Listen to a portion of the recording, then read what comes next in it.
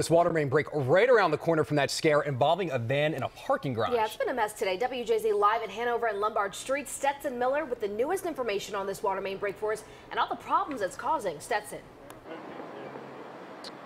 Hey there, well, if you can see behind me, this is the water main break right here. We're right here on Hanover Street, and this is Hanover Street between Pratt and Lombard. And if you can see, this entire street is shut down because water is covering the entire street. A short while ago, it was completely covering the street. Now you can at least see a portion of the road here.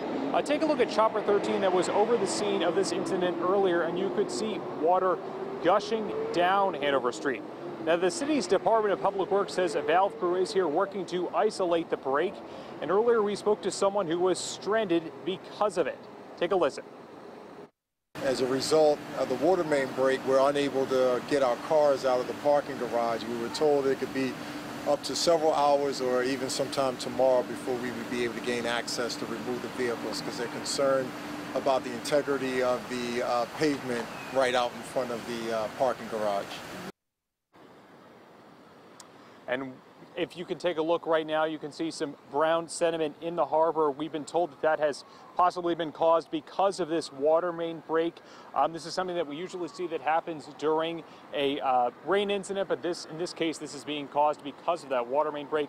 We'll be sure to keep you updated and bring you the very latest as we learn more about what's happening here on Hanover Street. But remember, Hanover Street between Pratt and Lombard is closed. Live on Hanover Street, Stetson Miller for WJZ.